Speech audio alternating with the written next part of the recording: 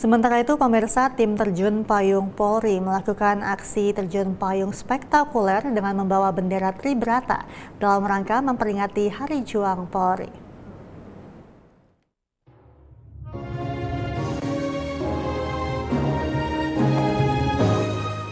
Aksi tim terjun payung Polri mengibarkan bendera lambang Polri Tribrata ini dilakukan dari ketinggian 10.000 kaki. Pilot AKP Andri Maulana dan Rizka Habibah menggunakan pesawat Kasa 212 200 untuk membawa tim terjun payung Polri dari lapangan terbang Pondok Cabe di Tangerang Selatan, Banten.